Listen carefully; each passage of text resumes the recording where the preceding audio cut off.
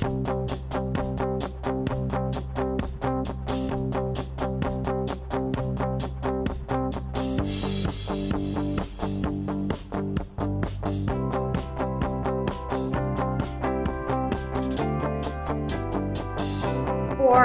me, the value was huge, but mostly that's because I happened to meet my co-founder at business school. Um, the other things that were really helpful, one was the access to all the professors there. So we literally spoke to about 80 different professors at Harvard Business School once we had evolved our concept.